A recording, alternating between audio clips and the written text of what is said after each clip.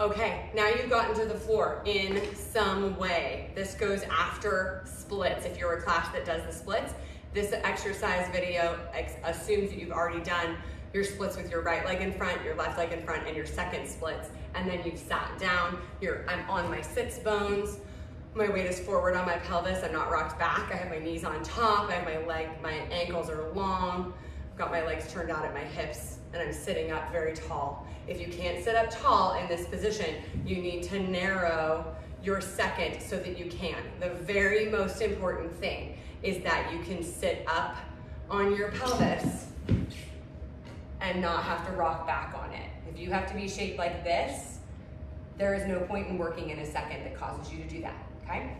So narrow where you need to in order to sit up tall.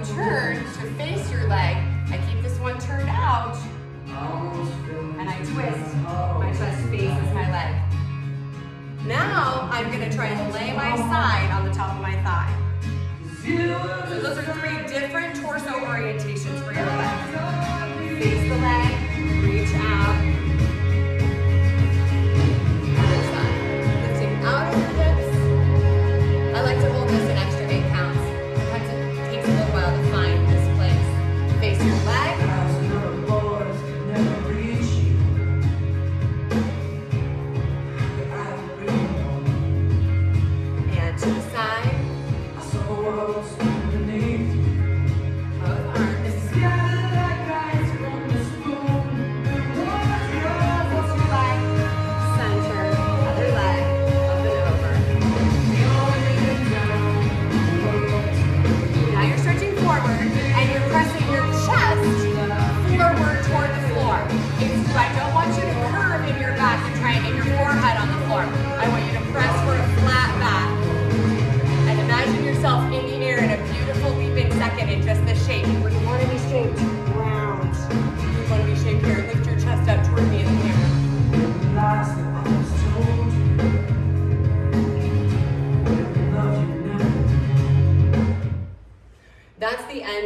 center leg stretches. If you are in Jazz 2, um, you'll have a video following this that is what we do in our floor position here. And if you're in Jazz 3, I have a new video for you for an exercise that I haven't um, uh, introduced yet, but you're gonna get it this way.